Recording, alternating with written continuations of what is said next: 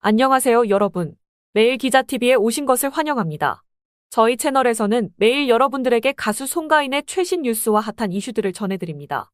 오늘도 송가인의 소식과 관련된 재미있는 이야기들을 함께 나누어 보겠습니다. 한국의 인기 가수 송가인이 팬들의 사랑과 지지에 감사의 마음을 전했다. 4월 25일, 송가인은 개인 인스타그램 스토리를 통해 팬들에게 감사의 인사를 전했다. 그녀의 포스팅에는 사랑하는 우리 어게인이라는 문구와 함께 귀여운 사진 한 장이 게재되어 있었다.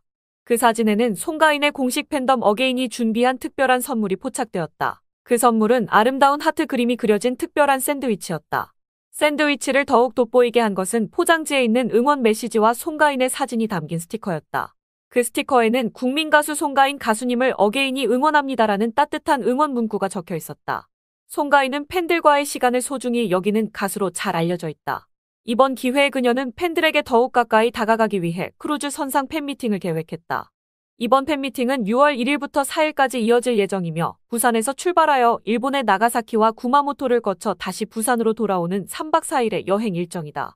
이번 크루즈 팬미팅에서 송가인은 다양한 무대를 선보일 예정이다.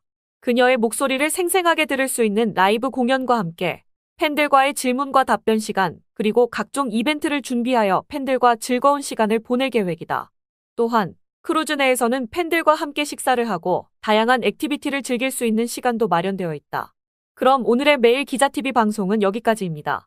여러분들과 함께 송가인의 소식을 나눌 수 있어서 기뻤습니다. 다음 방송에서도 더 다양한 이야기로 찾아뵙겠습니다.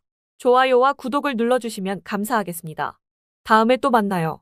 안녕히 가세요.